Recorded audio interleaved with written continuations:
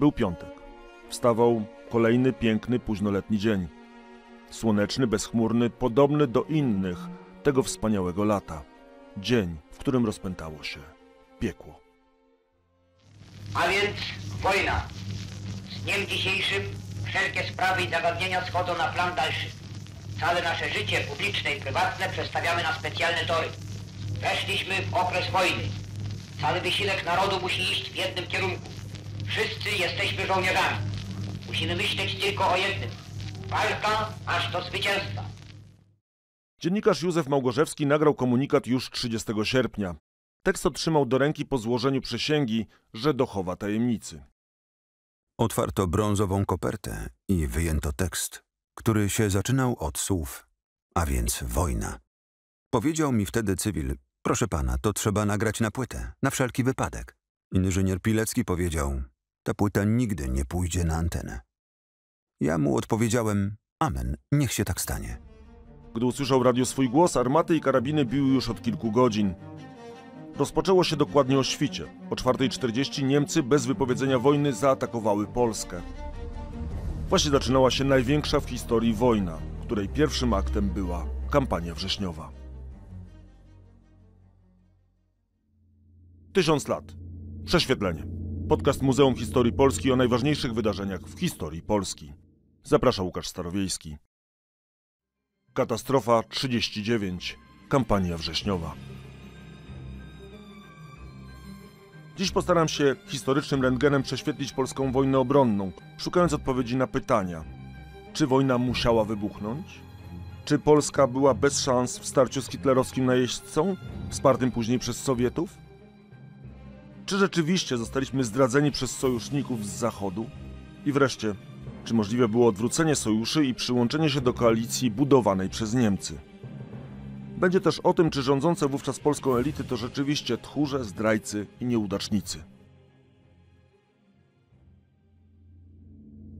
Część pierwsza. Zapałka pod beczką prochu. Pewnie nie zmieniłoby to losów ani świata, ani nawet tej kampanii, ale faktem jest, że wojna miała wybuchnąć 6 dni wcześniej. To na 26 sierpnia Adolf Hitler wyznaczył termin ataku na Polskę.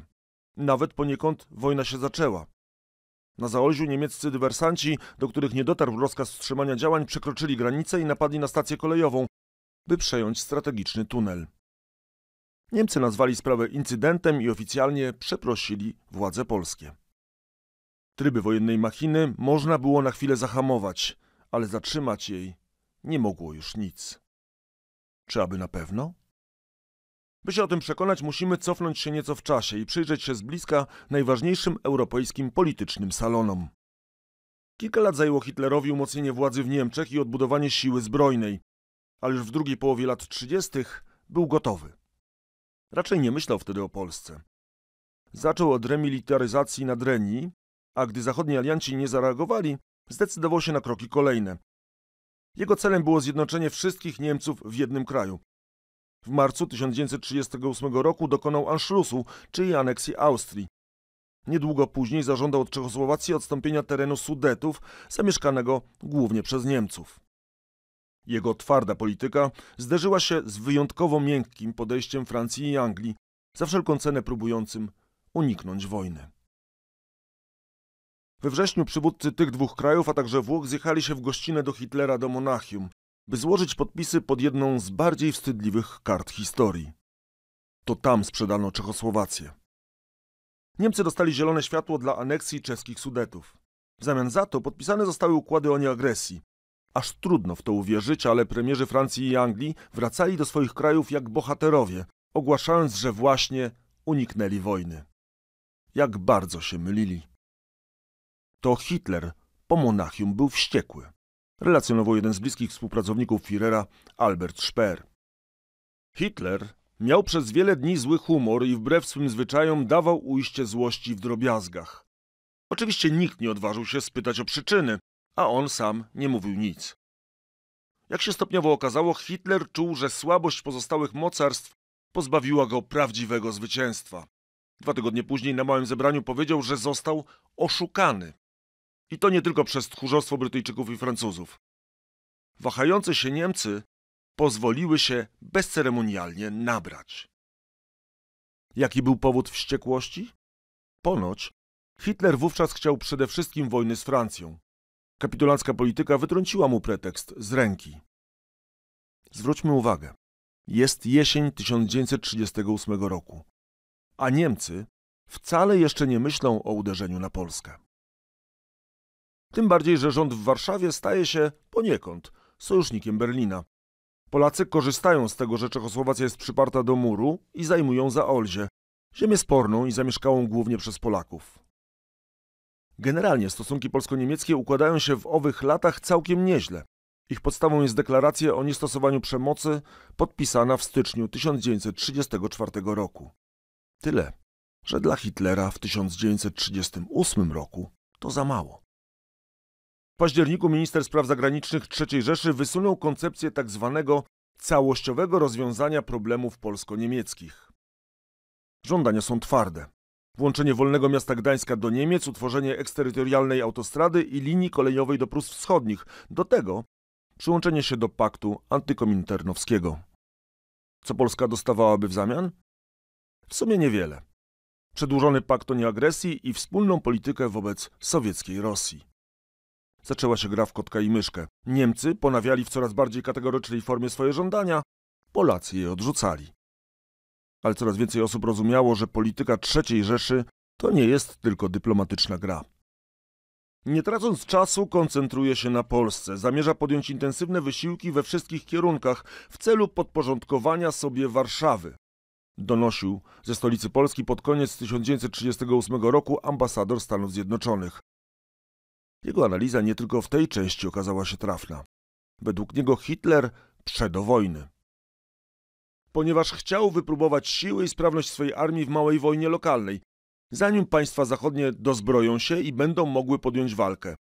Aby uderzyć na Francję, zanim zdoła ona efektywnie przygotować się do stawienia czoła połączonemu natarciu Niemiec i Włoch. Zauważmy, Hitler cały czas marzy o Paryżu, nie o Warszawie ale opór Warszawy każe mu korygować plany. W tym czasie jeszcze nie wiedziałem, czy wypadnie mi najpierw uderzyć na wschód, a później na zachód, czy też odwrotnie. Pod naciskiem wypadków zapadła decyzja rozpoczęcia walki najpierw z Polską. Tłumaczył swoim generałom już post factum, bo w listopadzie 1939 roku. Cóż to był za nacisk wypadków? Na przełomie 1938 i 1939 roku gra polityczna nabierała rozpędu. Szczególnie aktywny był polski minister spraw zagranicznych Józef Beck, który po śmierci Piłsudskiego praktycznie sam decydował o polskiej polityce zagranicznej. Pod koniec marca gra jeszcze przyspieszyła. Polska ostatecznie odrzuciła propozycję z jednej strony, z drugiej zniweczyła próby stworzenia szerszej koalicji przeciw Niemcom, z udziałem nie tylko Francji i Anglii, ale też Sowietów, a może nawet Turcji i Rumunii. Faktem jest, że i Sowieci stawiali zaporowe warunki. Beck preferował umowy dwustronne i plany zrealizował. Pod koniec marca premier Anglii ogłosił deklarację o przyznaniu Polsce gwarancji suwerenności. Kilka dni później oba państwa podpisały dwustronne porozumienie. Polskę zabezpieczała też umowa z Francją z 1921 roku, która głosiła, że na wypadek agresji niemieckiej przeciwko jednemu z krajów, oba kraje są również zobowiązane przystąpić do akcji w myśl obopólnego porozumienia. W maju 1939 roku deklaracja wsparta została roboczymi ustaleniami, wedle których Francuzi w przypadku agresji Niemiec na Polskę rozpoczną działania automatycznie. W Polsce zapanował optymizm. Wystarczy posłuchać wodza naczelnego Edwarda Śmigłego Rydza. Pierwszą fazę tej wojny przegramy, ale w międzyczasie Francja zreorganizuje armię i przygotuje uderzenie, które nam automatycznie ulży. I nie ulega wątpliwości, że wraz z Francją i sprzymierzeńcami wojnę ostatecznie wygramy. Wydarzenia najbliższych miesięcy pokażą, jak mylne były to rachuby. Dyplomatyczne gry odwróciły natomiast bieg zdarzeń, to właśnie w tym momencie Hitler podjął ostateczną decyzję. Inwazja na wschód. W kwietniu zlecił opracowanie planu Falweis, wariant biały, czyli operacji wojennej przeciw Polsce. Niemiecka armia miała być gotowa najpóźniej 1 września. Tak, tak, 1 września. Pod koniec miesiąca Trzecia Rzesza wypowiedziała Polsce układ o nieagresji. Do tego Hitler rozpoczął rozmowy ze swoim największym dotąd ideologicznym wrogiem Sowietami. Złowieszcze stwierdzenie czwarty rozbiór Polski wróciło do obiegu. Powtórzył je i ambasador sowiecki w Paryżu, i jeden z niemieckich generałów. 22 sierpnia 1939 roku Sowieci i Niemcy podpisali pakt o nieagresji, który swoją przyszłą nazwę wziął od nazwisk szefów dyplomacji obu krajów Ribbentrop-Mołotow. W ściśle tajnym protokole paktu dopisano jeszcze. W razie terytorialnych i politycznych zmian na obszarach należących do państwa polskiego, strefy interesów Niemiec i ZSRR będą rozgraniczone wzdłuż linii rzek Narwi, Wisły i Sanu. Zagadnienie, czy interesy obu stron czynią pożądanym utrzymanie niepodległego państwa polskiego i jakie mają być granice tego państwa, może być ostatecznie rozstrzygnięte dopiero w toku dalszych wydarzeń politycznych. Klamka zapadła. Na nic nie zdał się nawet zawarty 25 sierpnia polsko-brytyjski układ sojuszniczy. On tylko przesunął wojnę o kilka dni. Część druga. Gdzie jest plan? Nim jednak zagrzmią armaty, przyjrzyjmy się przygotowaniom do wielkiego zwarcia. Silni, zwarci, gotowi. Czy nie oddamy nawet guzika? Słychać było w całej Polsce. Rządowi propagandyści, w przeciwieństwie do innych resortów, dobrze wykonali swoją robotę. Wielką popularnością cieszyła się choćby piosenka. Nikt nam nie zrobi nic, nikt nam nie weźmie nic, bo nas prowadzi śmigły, marszałek śmigły ryc. Propaganda była dla mas. Im wyżej w hierarchii wojskowej, tym więcej było realnych ocen. Dostaniemy w dupę. Nie przebierał w słowach jeden ze sztabowców marszałka. Bardziej parlamentarnie ujmował temat generał Tadeusz Kutrzeba. Wobec przewagi niemieckiej obrona całego terytorium państwa jest niemożliwa. Smutno konstatował post factum śmigły ryc. Ale czy można było sączyć wątpliwości w naród, który ma walczyć? W teorii polska armia nie wyglądała źle. Wszyscy pamiętali świetne zwycięstwo nad bolszewikami. Polski żołnierz zbierał też dobre opinie zagranicznych ekspertów. Jest pierwszorzędny, wytrzymały, obdarzony pewnym zmysłem inicjatywy, której nie można odnaleźć ani u żołnierza rosyjskiego, ani niemieckiego. Pisał w 1936 roku generał Louis Morin, członek francuskiej Najwyższej Rady Wojennej. Do optymizmu skłaniać miała liczebność wojska. 30 dywizji piechoty, 37 pułków kawalerii oraz Korpus Ochrony Pogranicza w sile kolejnych trzech dywizji. Wszystko to były piękne pozory. Rydz Śmigły wspominał, że gdy obejmował po śmierci Józefa Piłsudskiego ledwie cztery lata przed wojną obowiązki generalnego inspektora, Zastałem stan mobilizacji grożący katastrofą, oparty na fikcji 46 dywizji, kiedy 30 dywizji było marzeniem nie do spełnienia. Nie było ani jednego działka przeciwlotniczego, ani jednego przeciwpancernego, z wyjątkiem gratów z 1920 roku. Prawdą jest, że Śmigły wdrożył program modernizacji armii. Jak na możliwości państwa był on ogromnym wyzwaniem. Przeznaczono na niego niemal połowę budżetu, a dodatkowe 10% uzyskano z pożyczki od Francji. Po jego zakończeniu polska armia miała pod względem organizacyjnym i sprzętowym dorównywać francuskiej czy brytyjskiej. Według wstępnych planów projekt miał zakończyć się w 1942 roku. A już na samym początku wdrażania planu pojawiły się opóźnienia przedłużające jego realizację do 1946 roku. Do wybuchu wojny Polska wydała na zbrojenia 730 milionów dolarów. Dzięki temu udało się przezbroić piechoty i artylerię oraz obronę przeciwlotniczą. Zrobiono dużo, ale to nic w porównaniu do zbrojeń za zachodnią granicą. Tam też trwał wyścig zbrojeń, tyle że na zupełnie inną skalę. Niemcy w drugiej połowie lat 30. zainwestowali w armię około 24 miliardów dolarów. Ponad 30 razy więcej niż Polska. I to wcale nie koniec przewag. Niemcy mogli liczyć na zaawansowany przemysł. Polacy dopiero zaczęli budować centralny ośrodek przemysłowy. Możliwości mobilizacyjne?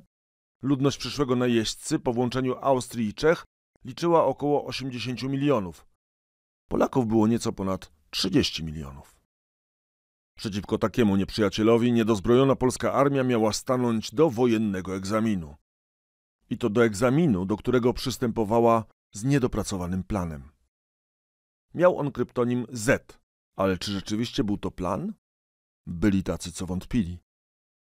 Ani planem, ani w ogóle dokumentem typu wojskowego. Nie zawierał on żadnej idei operacji, a jedynie uszeregowanie kilku naiwnie określonych życzeń, nie mających oparcia w warunkach rzeczywistości. Jeśli to było wszystko, z czym nasz naczelny wódz wyruszył na wojnę, to należy uznać, że wybrał się z pustymi rękami. Dosadnie podsumował to szef sztabu Armii Łódź, pułkownik Aleksander Pragłowski i nie był odosobniony. Jak w ogóle mogło do tego dojść?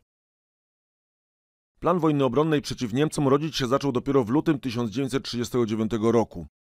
Wówczas to Rydz Śmigły przedstawił szefowi sztabu generalnego jego główne założenia. Miesiąc później część wytycznych była już nieaktualna, po tym jak Niemcy zajęli całe terytorium Czech i Moraw, dając sobie możliwość dodatkowego ataku z południa. Warto w tym miejscu zaznaczyć, że polskie dowództwo pod koniec lat 30. za znacznie bardziej realną uznawało wojnę z Sowietami. Plan W był dobrze dopracowany, tyle że pozostał wyłącznie na papierze. Plan o kryptonimie Z zakładał bitwę graniczną, a później względnie szybkie wycofanie się na tzw. Tak linię wielkich rzek Biebrzy, Narwi, Wisły i Sanu, na której oparta byłaby główna linia obrony. Przy czym bitwa graniczna miała mieć wymiar przede wszystkim polityczny.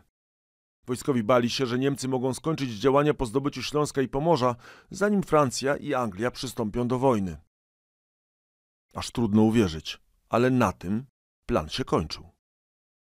Co gorsza, szczątkowy plan zakładał bezpośrednie dowodzenie marszałka nad całym frontem, co już w pierwszych dniach kampanii wobec notorycznego zrywania się łączności okazało się mrzonką. Do tego plan nie regulował kwestii koordynacji między poszczególnymi armiami. Za te błędy i niedopatrzenia przyszło zapłacić bardzo drogo. Pozostaje bez odpowiedzi pytanie, czy gdyby plan, zgodnie z sugestią m.in. generała Kutrzeby, był bardziej defensywny, a Polacy dłużej stawiali opór, alianci ruszyliby z odsieczą? Bo bez względu na to, jaki ten plan by nie był, los Polski zależał od działania Francji i Anglii. Nim Niemcy 1 września rozpoczną inwazję, przyjrzyjmy się siłom obu przeciwników. Dawid i Goliat to pierwsze skojarzenie, które się nasuwa, tyle że w tym wypadku Dawid, jak już wiemy, nie miał na podoręciu dodatkowej broni ani chytrego planu. Miażdżąca przewaga Wehrmachtu była widoczna nawet w czasach pokoju. Niemcy pod bronią utrzymywali 600 tysięcy żołnierzy. Polacy trzy razy mniej. W dniu wybuchu wojny proporcje były już nieco inne, ale nadal wyjątkowo niekorzystne. Konkrety? Oto one. Liczba żołnierzy. Niemcy ponad półtora miliona. Polacy około miliona. Czołgi. Niemcy ponad dwa i pół tysiąca. Polacy pięćset. Samoloty. Niemcy dwa tysiące, Polacy poniżej pięciuset. Działa. Niemcy dziesięć tysięcy, Polacy połowę mniej. Do tego Niemcy dysponowali też różnymi jednostkami paramilitarnymi, które według niektórych szacunków podnosiły stan osobowy w czasie inwazji do nawet 2,5 miliona żołnierzy. Co gorsza, Polska spóźniła się wyraźnie z ogłoszeniem powszechnej mobilizacji. Zrobiła to dopiero 30 sierpnia. Tak, tak, na dwa dni przed wybuchem wojny. Dlaczego tak późno? Zadecydował nacisk aliantów.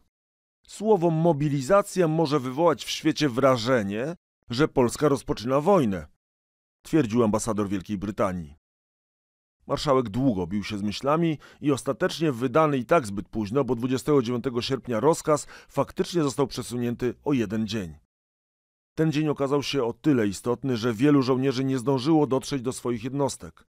Na usprawiedliwienie polskiego dowództwa warto dodać, że już w marcu została ogłoszona tzw. Tak cicha mobilizacja, która zwiększyła stan osobowy polskiej armii niemal dwukrotnie. ale i tak około 1 czwartej polskich żołnierzy do jednostek przed 1 września nie dotarło. Część trzecia. A więc wojna.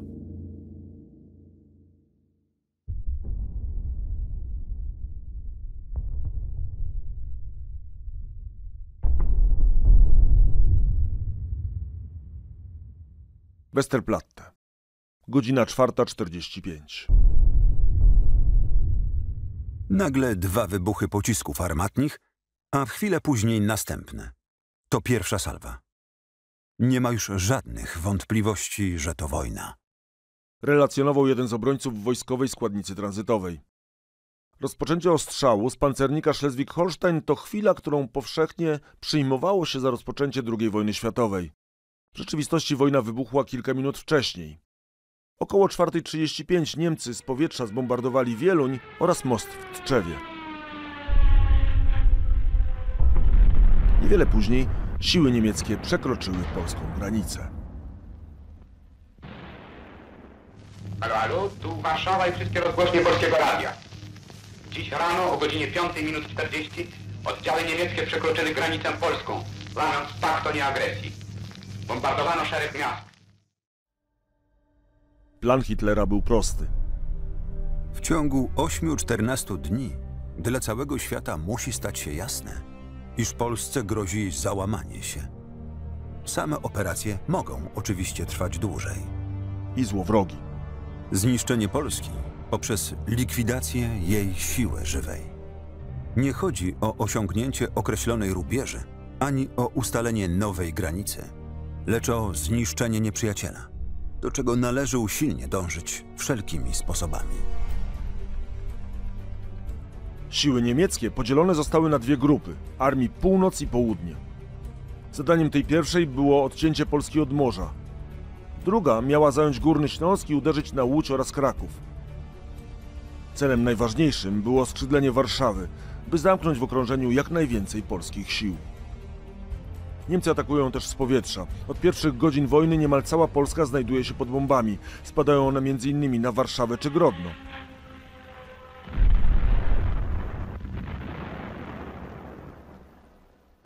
Luftwaffe atakuje nie tylko obiekty wojskowe. Już nalot na Wieloń i zniszczenie miasta ujawnia niemiecką strategię. Samoloty niszczą wszystko, także cele cywilne, a myśliwce atakują nawet ludność cywilną. Widzę, jak lotnik niemiecki kołuje nad gromadą, liczącą koło setki małych dzieci. Zniża się 50 metrów, rzuca bomby i strzela z karabinu maszynowego. Dzieci rozpryskują się jak wróble, ale kilkanaście barwnych plam zostaje na polu.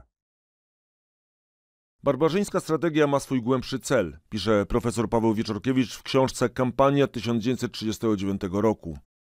Nie tylko wywołuje ona psychozę, ale Naloty nader skuteczne prowadziły do powstawania gigantycznych zatorów i korków, blokujących szczelnie szlaki komunikacyjne, co utrudniało, a chwilami wręcz paraliżowało jakiekolwiek ruchy wojsk. Panika, jaka powstawała wśród uciekinierów na odgłos nadlatujących samolotów, często udzielała się żołnierzom. Ataki doprowadziły też do paraliżu łączności między polskimi oddziałami, zakłócały odwroty polskich żołnierzy, a także rozbijały w pył polską infrastrukturę, zarówno wojskową, jak i cywilną. Polacy odgryzali się jak mogli. 250 metrów? 200? 150? I jeszcze bliżej. Świdruje w mózgu myśl. Już teraz. Naciskam spust. Wspomina pierwsze zestrzelenie najsłynniejszy as polskiego myślistwa Stanisław Skalski. Przewaga niemiecka jest jednak ogromna. Po nieco ponad dwóch tygodniach polskie lotnictwo praktycznie traci wartość bojową. Naloty są tylko elementem uzupełniającym zmasowany atak. Blitzkrieg, wojna błyskawiczna, to nazwa, która przylgnęła do taktyki Niemców. Taktyka ta polegała na gwałtownych atakach sił zmotoryzowanych i pancernych. Zadaniem było przełamywanie frontu. Ogromna przewaga sprzętowa i wielka szybkość przemieszczania się to powody, dla których okazała się niezwykle skuteczna. Nim gąsienice rozjadą całą Polskę, zatrzymajmy się na chwilę, by spojrzeć w niebo. Nie szukając w nim wcale zjawisk nadprzyrodzonych, warto w tym momencie wspomnieć o pogodzie. Mogło wydawać się, że owego lata wszystko sprzysięgło się przeciw Polsce. Wakacje 1939 roku były wyjątkowo piękne, bardzo ciepłe i niemal bezdeszczowe. Jakby pogoda chciała dać ostatnią chwilę odprężenia przed mrokami okupacji, ale właśnie ona miała ważny wpływ na przebieg kampanii. Długie i suche lato osuszyło bagna i mokradła, a często rwące rzeki zamieniło w płytkie potoki. Zmniejszając lub likwidując tym samym miejsca obronne z natury, oparte o podmokły teren lub rzeczne przeprawy. Pojazdy pancerne nie zakopywały się w błocie i piachu. Wiele rzek, zwykle nie do pokonania, można było pokonać w bród. Za szybko przesuwającą się linią frontu szła fala terroru. Już od pierwszych dni wojny Niemcy dokonywali masowych egzekucji. Rozstrzeliwana była ludność cywilna. Szacuje się, że w czasie kampanii wrześniowej zginęło w ten sposób nawet 50 tysięcy osób. Dokonywały tego oddziały SS idące w ślad za żołnierzami czy jednostki paramilitarne, ale nie tylko. Wiele lat funkcjonował mit o tak zwanym dobrym Wehrmachcie. Armii, która walczyła, ale nie dopuszczała się zbrodni.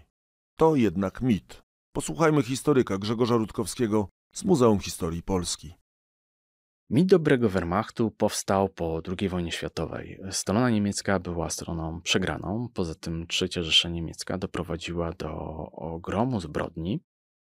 W tym kontekście właśnie tworzony był mit przez, przez dawnych oficerów Wehrmachtu. Jakoby niemiecka siła zbrojna nie brała aktywnego udziału w zbrodniach, że zbrodnie, które miały miejsce, to jest dzieło SS, RSH, Hitlera, Himmlera, a Wehrmacht jest, jest wolny od zbrodni, starał się walczyć honorowo. Stan faktyczny był taki, że Wehrmacht już od 1939 roku brał udział w zbrodniach wojennych. Niemieckie siły powietrzne, Luftwaffe, nawet koncepcyjnie zakładały, że celem ich działań mają być obiekty cywilne, miasta, po to, aby dezorganizować zaplecze wojsk y, przeciwnika, czyli te ataki na, na kolumny uchodźców. Było podyktowane tego tym, żeby szerzyć terror, żeby szerzyć chaos i siły zbrojne Niemiec walczyły tak, jakby żadne konwencje ówczesne e, ich nie obowiązywały. Liczba zbrodni oraz y, liczba ofiar, która było wynikiem właśnie zbrodni niemieckich, była olbrzymia często poprzez e, bombardowania, rozstrzeliwania, czyli rozstrzeliwanie jeńców e, wojennych, e, rozstrzeliwania cywili. To jest powszechność już nie, nawet nie, nie okupacji, ale właśnie powszechność kampanii 1939 roku. Bitwa graniczna trwała zaledwie trzy dni. Największym starciem tych pierwszych dni była bitwa pod Mławą, przystanku na najkrótszej drodze z Prus Wschodnich do Warszawy. Mogło stać się groźne, gdyby Polacy porzucili swoją upartą obronę i przeszli do natarcia. Zaskakująco podsumowywał niemiecki generał Nikolaus von Forman. Polacy próbowali nawet kontratakować, ale przede wszystkim zabrakło koordynacji i ostatecznie zostali zmuszeni do odwrotu. Wehrmacht przełamał też front pod Częstochową i zajął Śląsk. Podobnie wyglądało to w całym kraju. Polskie oddziały wycofywały się na tak zwaną linię wielkich rzek Wisły, Warty czy Narwi. Tyle, że Niemcy postępowali krok w krok, a czasem nawet wyprzedzali cofające się jednostki. Zwycięstwo pod Mławą pozwoliło im już 6 września na sforsowanie Narwi, czyli przekroczenie linii wielkich rzek. Polski plan obrony na tym odcinku załamał się, tworząc zagrożenie dla samej Warszawy. Odwrót. To słowo klucz czasem planowy, często bezładny. Ale i tak najważniejsze dla Polski decyzje zapadały daleko od jej terytoriów w Paryżu i Londynie. Część czwarta. Sitzkrieg, czyli aliancka wojna na siedząco. Na zachodzie bez zmian. Na razie pełno tam górnolotnych słów. Anglia nie ma zwyczaju opuszczać swych przyjaciół miał rzucić lord Edward Halifax, szef brytyjskiej dyplomacji w czasie rozmowy z polskim ambasadorem. Francuzi też wyglądali na gotowych. Szef sztabu generalnego pisał do francuskiego premiera. Neutralność Hiszpanii, a zwłaszcza Włoch, zapewnia nam bez czekania na pomoc angielską wystarczające środki, aby działać potężnie. Przy czym celem tej akcji będzie niewątpliwie skuteczna i względnie gwałtowna, potężna pomoc dla Polski. Anglicy rozpoczęli przerzut samolotów do Francji. Do Berlina wysłali też ultimatum. W stolicy Niemiec zapanowała konsternacja. Posłuchajmy, jak wspominał to główny tłumacz niemieckiego MSZ Paul Schmidt. Hitler siedział jak skamieniały i patrzył przed siebie. Nie był zmieszany, jak później twierdzono, ani nie wpadł we wściekłość, jak chcieli inni. Siedział w całkowitym milczeniu i bez ruchu. Po chwili, wydawała mi się ona wiecznością, zwrócił się do Ribbentropa, który jak skamieniały stał nadal przy oknie. Co teraz? Zapytał Hitler swego ministra spraw zagranicznych z błyskiem wściekłości w oczach, jakby chciał w ten sposób wyrazić, że Ribbentrop fałszywie informował o reakcji Anglików. Ribbentrop odpowiedział cicho. Sądzę, że w najbliższym czasie Francuzi wręczą równobrzmiące ultimatum. Tak też się stało. 3 września Francja i Wielka Brytania wypowiedziały Niemcom wojnę. Niedługo później siły brytyjskie nawet zbombardowały jeden z niemieckich portów. W Warszawie zapanowała euforia. Tłum warszawiaków zbierał się przed naszą ambasadą. Napływ był tak wielki, że ruch kołowy stał się niemożliwy. Padało okrzyki na cześć Francji. Śpiewano poszczególnie zwrotki marsylianki. Były to sceny nie do opisania. Wspominał ambasador francuski. Manifestowano też pod ambasadą brytyjską. Euforia udzieliła się nawet sferom rządowym. Mówiono tak, jak gdyby klęska Niemiec była już kwestią krótkiego czasu. Relacjonował prywatne śniadanie ministra Beka jego zastępca, Jan Szembek. Kolejne dni mogły potwierdzać optymistyczne nastawienie. 7 września Francuzi rozpoczęli działania ofensywne, by zdobyć przedpole niemieckiej umocnionej linii Zygfryda. Tyle, że to był praktycznie ostatni ofensywny krok tzw. Tak aliantów. A 12 września polską sprawę porzucili. Podczas pierwszego spotkania Najwyższej Rady Wojennej dyskutowane były dwa plany. Ofensywny, ataku na linię Zygfryda oraz defensywny, wycofania się na francuską umocnioną linię Maginota. W świetle informacji z Polski, kolejnych klęsk na froncie oraz niegotowości własnych sił podjęto decyzję o braku działań. Choć być może było to tylko postawienie kropki nad i. Spójrzmy w protokół posiedzenia. Czy generał Giemelon rozważał jakieś zmiany w swoich planach na Zachodzie, w razie gdyby Polska zdołała utrzymać się dłużej niż to pierwotnie przewidywano? Pytał Lord Chatfield. Nie. Zaoszczędzi to jedynie więcej drogocennego czasu Francji i Wielkiej Brytanii na przygotowania i przeszkodzi Niemcom w przerzucaniu swych sił z frontu wschodniego na zachodni. W brytyjskim raporcie natomiast zapisano. Jasnym jest, że alianci nie mogli nic zrobić, by uchronić Polskę przed zajęciem. Jedyną prawdziwą pomocą dla Polski jest wygranie wojny. Polska została osamotniona. Co gorsza, alianci o swojej decyzji polskiego rządu zawiadamiać nie zamierzali. Czy można mówić o zdradzie sojuszników? O tym historyk Grzegorz Rutkowski z Muzeum Historii Polski. W Polsce e, panuje dość e, powszechna opinia, że Polska w 1939 roku została zdradzona przez swoich sojuszników. E, sytuacja jest troszkę bardziej złożona.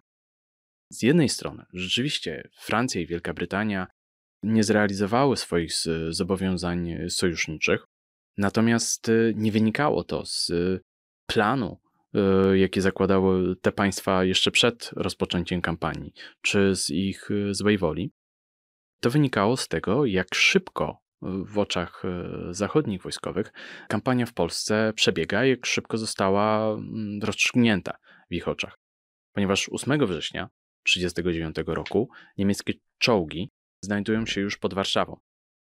Francuzi z Anglikami doszli do, do wniosku, że po prostu zaangażowanie się na, na tym etapie w jakąś większą ofensywę, też musimy tutaj mieć na względzie to, że 12 września 1939 roku zakładali, że oni do takiej y, ofensywy będą przygotowani na przełomie września i października. My wiemy, że w tym momencie mm, kampania polska już dogasała. To jest jedna kwestia. Natomiast druga to jest y, znaczenie y, tej decyzji Brytyjczyków i Francuzów w większej układance II wojny światowej. I najprawdopodobniej te decyzje podjęte wówczas w największym stopniu rzutowały na początku przebiegu II wojny światowej. Dlaczego?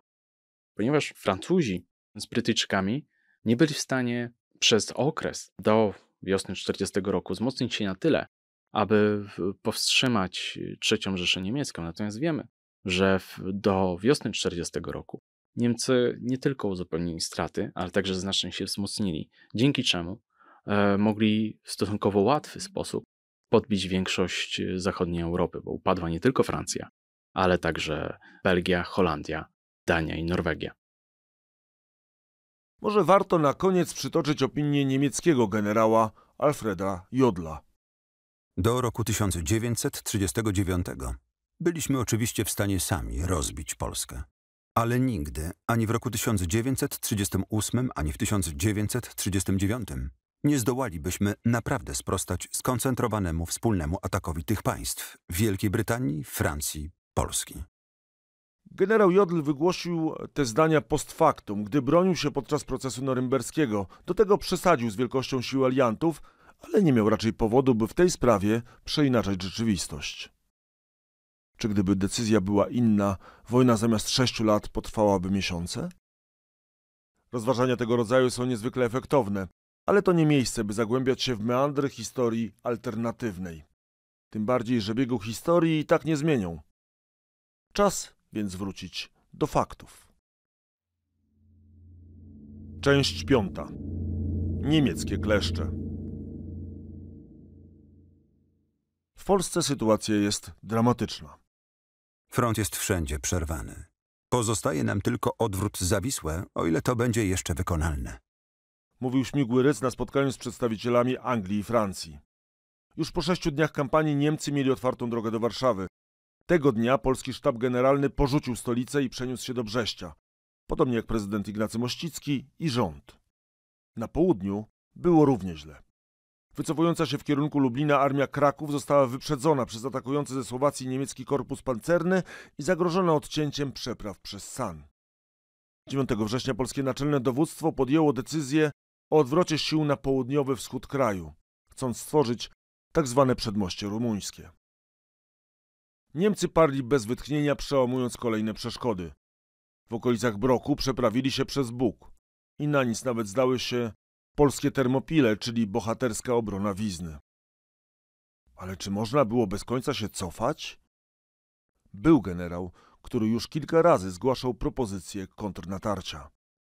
Fortissime, wszystko jak było umówione. Prowadzić energiczną akcję najszybciej. Dalej na obiad do Wierzbickiego. Większość słuchaczy zapewne nie zrozumiała komunikatu, ale właśnie w ów sposób na falach otwartego radia marszałek Śmigły-Rydz dał zielone światło do kontruderzenia. Wobec koszmarnych problemów z komunikacją między sztabem a poszczególnymi armiami miał to być sposób najpewniejszy. Slang żołnierski miał zastąpić szyfrowanie. Generał Kutrzeba, który był owym ofensywnie nastawionym generałem, komunikatów wysłuchał, ale bądź go nie zrozumiał, bądź sytuacja na froncie wymagała korekty. Zamiast w kierunku Radomia, gdzie mieściła się słynna wówczas restauracja Wierzbickiego, uderzył w stronę Strykowa. Cofające się armie Poznań i Pomorze zaatakowały nocą z 9 na 10 września w bok maszerującej na Warszawę 8 Armii Niemieckiej. Zaczęła się bitwa nad Bzurą, największe starcie wrześniowej kampanii.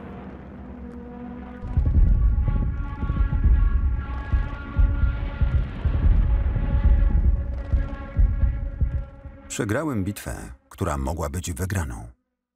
Ocenił po latach chyba zbyt krytycznie generał Kutrzeba. Atak początkowo zaskoczył Niemców. Polakom udało się odzyskać Łowicz. Najeźdźcy szybko sprowadzili jednak posiłki, szczególnie jednostki pancerne i lotnictwo. Polski sukces mógł być nawet jeszcze większy, ale nieporozumienia między dowódcami polskich armii i braki komunikacji spowodowały, że impet kontruderzenia został wyhamowany, a następnie zatrzymany po czterech dniach. Po kilku kolejnych dniach polskie armie zaczęły wycofywać się w kierunku Warszawy. Kilkudniowa bitwa dała jednak oddech innym polskim siłom. Dzięki niej więcej oddziałów dotarło na przedmoście, a Warszawa miała dodatkowy czas na przygotowanie obrony.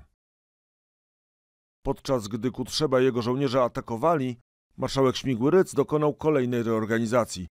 10 września utworzone zostały dwa fronty. Południowy z generałem Kazimierzem Sosnkowskim i północny pod generałem Stefanem Dąb-Biernackim. Ta druga nominacja to typowy strzał w stopę. Jak twierdził jeden z jego podkomendnych, Władysław Anders, dowódca był w fatalnym stanie psychicznym. Zupełnie załamany tłumaczył ponoć, że wszystko przepadło. W tych dniach za wcześnie było na takie słowa. Dzięki powszechnej mobilizacji do jednostek cały czas napływali nowi rekruci. Stan armii wynosił 27 dywizji i 11 brygad, czyli tyle samo co 1 września. Cały czas liczono na początek ofensywy aliantów. Francuski, tym razem zmasowany atak miał nastąpić do 17 września. Tak, tak. Właśnie 17 września. Data pamiętna. Niestety z zupełnie innego powodu. Na polskim froncie z dnia na dzień było jednak gorzej i gorzej. Nie udało się zorganizować obrony na Wiśle i Wieprzu, bo Niemcy okazali się zbyt szybcy. W tej sytuacji 13 września Śmigły Ryc wydał rozkaz o wycofaniu się na ostatni bastion obronny, przedmoście rumuńskie oparte na rzekach Dniestr i Stryj. Utrzymanie się przy granicy z Rumunią było newralgiczne. Stamtąd miał nadejść obiecany sprzęt i zaopatrzenie wojenne z Francji i Wielkiej Brytanii. W drodze znajdowały się też transporty zakupionych przed wojną samolotów i czołgów. W sztabie znów, już po raz ostatni, zapanował lekki optymizm. Ogólna ocena sytuacji zdawała się wskazywać na możliwość zorganizowania oporu na przyczółku rumuńskim i dalszego prowadzenia walki. Niektórzy z kolegów dość optymistycznie uważali nawet, że moment przełomowy kampanii mamy poza sobą. Pisał pułkownik Stanisław Kopański. Optymizm oparty był m.in. na informacjach o przygotowaniach do kampanii na zachodzie, bo w Polsce działo się tylko źle. Niemcy zamknęli pierścień wokół polskiej stolicy 15 września. Trzy dni wcześniej najeźdźcy dotarli pod Lwów. Kolejnych zajmują m.in. Gdynię, Przemyśl czy Białystok. Ale to i tak nie jest najgorsza z wiadomości. Mylili się bowiem koledzy Kopańskiego. Przełomowy moment miał dopiero nadejść. Część szósta. Nóż w plecy. W Warszawie jest ledwie pierwsza w nocy, a w Moskwie druga, gdy ambasador Polski zostaje brutalnie wybudzony ze snu. To nie wróży nic dobrego, więc Wacław Grzybowski pełnoświadomość odzyskuje momentalnie. Ma jak najszybciej stawić się w komisariacie spraw zagranicznych. Po dotarciu na miejsce wysłuchuje oficjalnej noty. Wojna niemiecko-polska ujawniła wewnętrzne bankructwo państwa polskiego. Warszawa jako stolica już nie istnieje. Rząd polski uległ rozkładowi i nie okazuje przejawów życia. Oznacza to, że państwo polskie i jego rząd przestały faktycznie istnieć. Dlatego też straciły ważność traktaty zawarte między Polską a ZSRS. Biorąc pod uwagę tę sytuację, rząd sowiecki polecił dowództwu Armii Czerwonej wydanie rozkazu przekroczenia granicy w celu wzięcia w opiekę życia i imienia ludności. Ambasador argumenty zbija, noty nie przyjmuje. O świcie wojska sowieckie przekraczają polską granicę. Początkowo w sile ponad pół miliona żołnierzy i z wyświechtanymi hasłami. Żołnierze Armii Polskiej. W te ciężkie dni dla Was potężny Związek Radziecki wyciąga Wam ręce braterskiej pomocy. Nie przeciwcie się robotniczo-chłopskiej Armii Czerwonej. My idziemy do Was nie jako zdobywcy, a jako Wasi bracia po klasu. Brzmiała odezwa dowódcy frontu białoruskiego. Sowieci, choć mocno namawiani przez Niemców od pierwszych dni kampanii, nie spieszyli się z atakiem. Nastawiali ucha na wieści z zachodu. Stanie o decyzji Francji i Anglii, by zamrozić front na zachodzie, dowiaduje się niemal od razu. Ma tam dwóch wysokich rangą szpiegów, sekretarza premiera Francji oraz wieloletniego ministra. Być może ostateczną decyzję o ataku podejmuje już 13 września. Dzień później pojawia się dyrektywa o przesunięciu wojsk na pozycje wyjściowe. Wiadomość o ataku Sowietów spada na polski rząd jak grom. Premier Składkowski zapamiętał, że ministrowie przyjęli straszną wiadomość w zupełnym zaskoczeniu. Ambasador Lipski skonkludował: To nie wojna, to katastrofa. Śmigły Ryc to zdanie podziela. Drogą radiową wydaje rozkaz. Sowiety wkroczyły. Nakazuje ogólne wycofanie na Rumunię i Węgry najkrótszymi drogami. Z bolszewikami nie walczyć, chyba w razie natarcia z ich strony albo próby rozbrajania oddziałów. Wojna trwa jeszcze, ale nieodwołalnie jest już przegrana.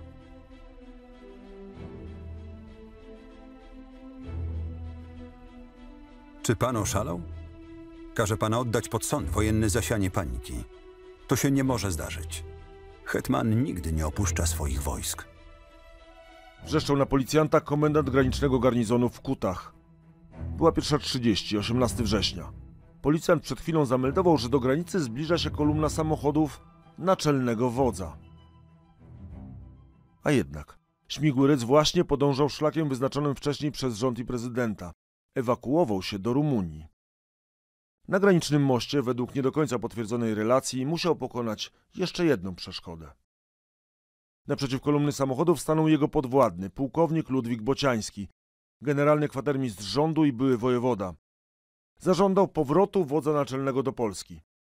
Śmigły pozostał głuchy na argumenty. Pułkownik w geście protestu wyciągnął pistolet i strzelił sobie w pierś. Nie zginął śmiercią samobójczą, przeżył. Kula przeszła obok serca. Marszałek przekroczył granicę. Jeszcze wówczas myślał pewnie, że niedługo przedostanie się do Francji. Taki był plan. Rząd i dowództwo na emigracji. Nici także z tego planu. Rumuni pod naciskiem Niemiec, Rosji i uwaga, Francji. Tak, tak, Francji. Postanowili internować zarówno dowódców wojskowych, jak i polskie władze cywilne. Łatwo zrozumieć działania Rosji i Niemiec, ale Francuzów? Ci mieli swój plan. Chcieli, by prezydent Mościcki, nie mogąc sprawować władzy na mocy konstytucyjnych uprawnień, mianował swojego następcę. Dzięki temu mógłby powstać nowy, przychylny Francuzom rząd. Kandydat już był i nie przebierał w słowach. To nie koniec Polski, ale koniec pewnej koncepcji i pewnej Polski. Niemniej przeto chwila jest tragiczna. Zachowanie się rządu haniebne. Komentował generał Władysław Sikorski. Zajadły przeciwnik rządów sanacji, a przy tym zadeklarowany frankofil. Był jednym z najbardziej doświadczonych i najlepszych polskich dowódców, ale mimo próśb, śmigły ryc nie wyznaczył mu w kampanii wrześniowej żadnego zadania. W tej sytuacji postanowił przedostać się do Francji. To on, jako premier i wódz wojska, będzie uosabiał polskie władze w pierwszych latach wojny. Czy ucieczka władz to rzeczywiście hańba, czy może polityczny realizm? Znów posłuchajmy historyka Grzegorza Rutkowskiego. O ile ewakuacja prezydenta i przedstawicieli rządu miała swoje uzasadnienie, o tyle ewakuacja naczelnego wodza ze względów wizerunkowych oraz także możliwości dowodzenia mm, wojskiem była błędna. Tutaj w tym szerszym kontekście, z perspektywy czasu, możemy ocenić, że zarówno ewakuacja z Warszawy, jak i później z Polski naczelnego wodza miała, a w szczególności w tym pierwszym etapie z Warszawy, dość bolesne dla wojska polskiego konsekwencji, ponieważ po wyjściu z Warszawy naczelny wódz pozbawił się e, swobody w dowodzeniu podległymi mu siłami. Została, zrywana została łączność oraz także nie było miejsc, gdzie taka nowa kwatera naczelnego wodza ze sztabem mogła zostać zainstalowana. Warszawa w 1939 roku była najbardziej odpowiednim ku temu miejscem. Czy była haniebna?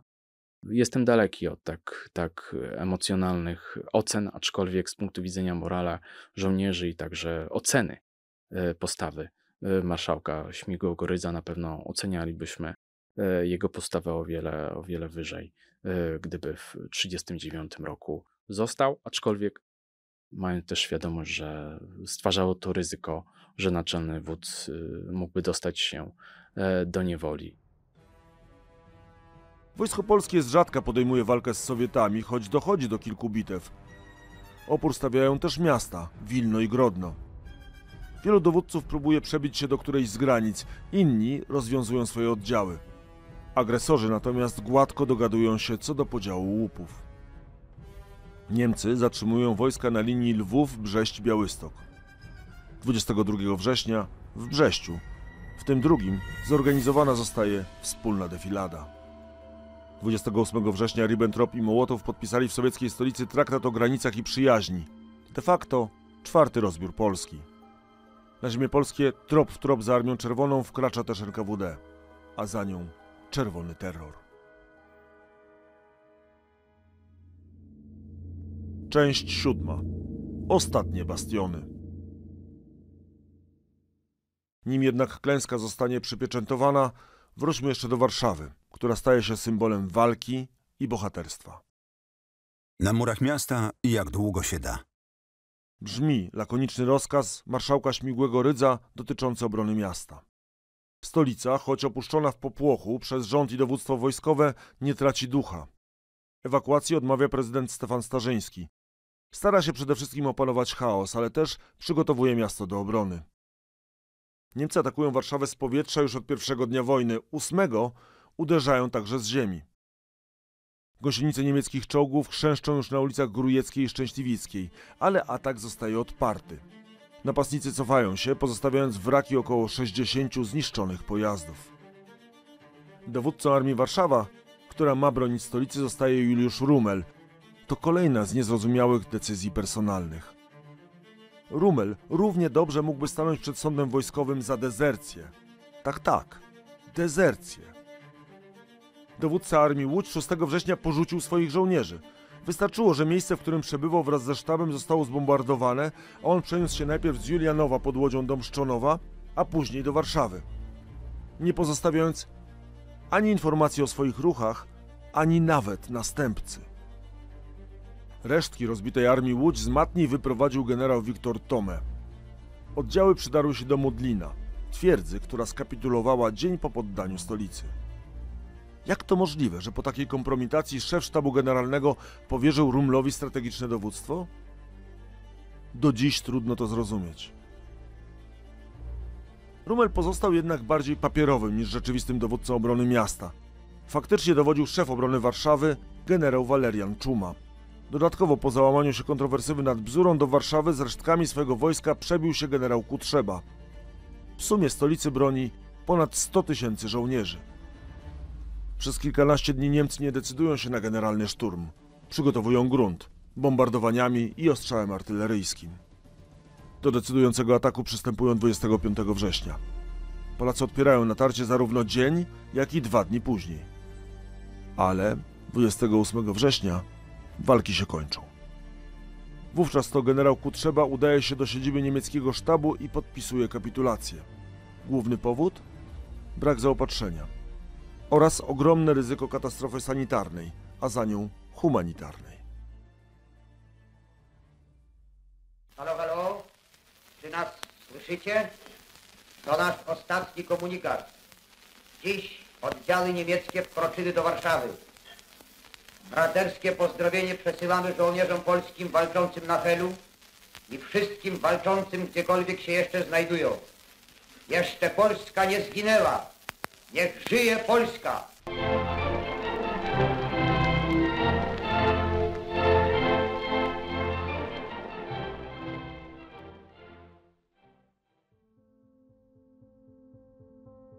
Podczas oblężenia stolicy zginęło 2000 wojskowych i aż 10 tysięcy cywilów. Ponad 60 tysięcy osób zostało rannych. Zniszczony został też co ósmy budynek Warszawy. Nikt wówczas nie może wiedzieć, że to dopiero początek straszliwej gehenny miasta. Ale to też realny początek walki podziemnej. W przeddzień kapitulacji utworzona została konspiracyjna organizacja Służba Zwycięstwu Polski.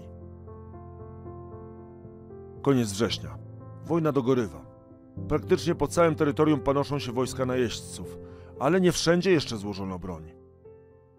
Wszyscy kapitulują we wrześniu. My wytrzymamy do października. Oświadczył dowódca obrony Helu. Według przedwojennych planów jednostka miała utrzymać się przez 6 tygodni, ale po upadku Warszawy komandor Włodzimierz Stejer dostał wolną rękę. Hel atakowany był od 1 września, głównie z wody i powietrza. 30 września z samego końca Cypla żołnierze próbowali nawet zrobić wyspę, wysadzając zaporę torpedową. Plan się nie powiódł, a kapitulacja podpisana została 2 października. Gdy obrońcy Półwyspu szli do niewoli, trwała jeszcze ostatnia duża bitwa tej kampanii. Był zaprzeczeniem tego, że wszystko się wali, że wszystko zawodzi. Dziwny wódz. Innym wojska rozbijano, Jemu walka je zbierała. Pisał jeden z oficerów o generale Franciszku Klebergu. Dowódca ten początkowo organizował obronę Polesia. Po 17 września próbował przebijać się w stronę granicy. Po kilku dniach zmienił kierunek, by iść z odsieczą w Warszawie. W końcu, w związku z brakami amunicji, postanowił zaatakować Dęblin, by zdobyć składnicę uzbrojenia. Jego zgrupowanie, przemianowane na samodzielną grupę operacyjną po lesie, działało jak magnes, przyciągając resztki rozbitych oddziałów. Był to bój heroiczny i skuteczny. Do czasu, gdy skończyła się amunicja. Klebergowi pozostały rozmowy kapitulacyjne. W Kocku, na podwórzu przed pałacem, czeka kompania. Prezentuje broń. Wita nas generał, dowódca korpusu. Mówi kilka grzecznych słów. Podziwia bohaterstwo Polaków. Biliście się tak, jak tylko Niemcy bić się potrafią. Generał odpowiada. Wykonaliśmy to, co do nas należało. Skończyła się amunicja. Skończyliśmy się bić. Tak relacjonował je szef oddziału operacyjnego major Tadeusz Grzeszkiewicz. To był praktycznie koniec działań wojennych.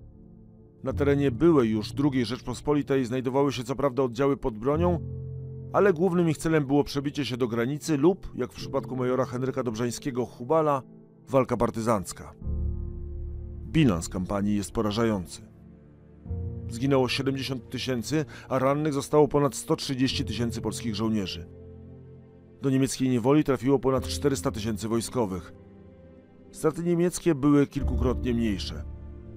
Śmierć poniosło około 16 tysięcy, a rany około 30 tysięcy żołnierzy. W walkach z Sowietami zabitych lub zamordowanych zostało ponad 6 tysięcy polskich wojskowych. Sowieci mieli stracić około 3 tysięcy poległych.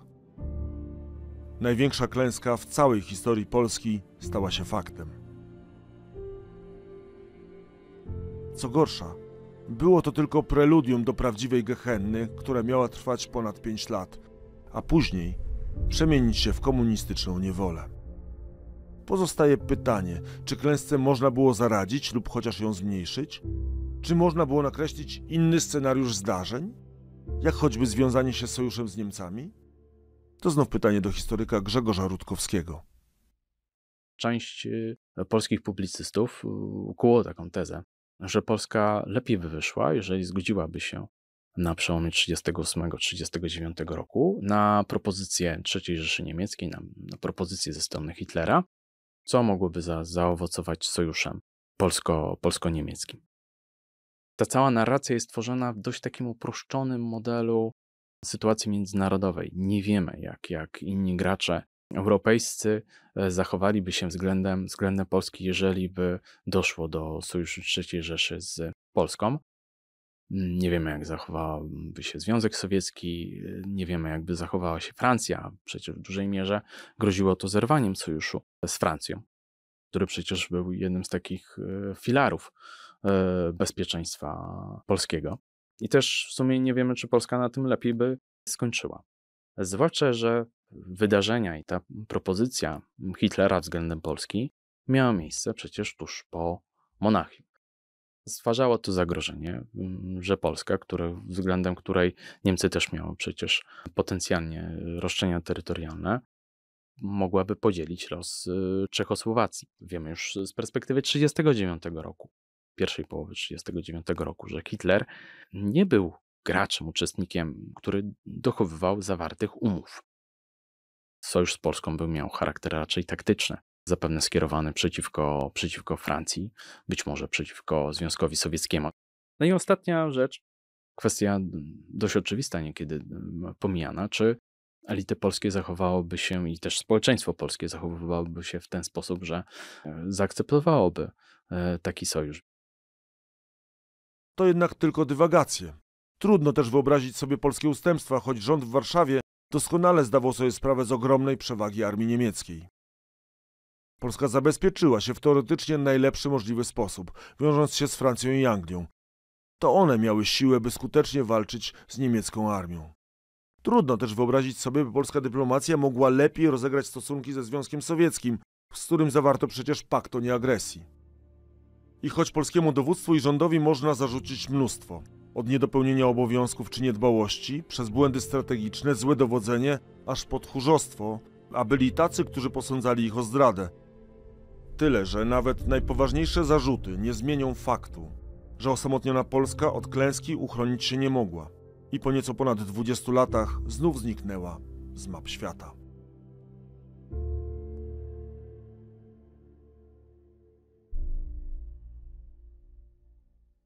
I to wszystko w dzisiejszym podcaście. Zapraszam na kolejne. Do usłyszenia, mam nadzieję. Łukasz Starowiejski. Tysiąc lat. Prześwietlenie. Podcast Muzeum Historii Polski o najważniejszych wydarzeniach w historii Polski. Podcastów Tysiąc lat prześwietlenie wysłuchasz na YouTube, Spotify, Google Podcast, Audiotece, a także na innych platformach podcastowych. Chcesz być na bieżąco? Subskrybuj kanał Muzeum Historii Polski.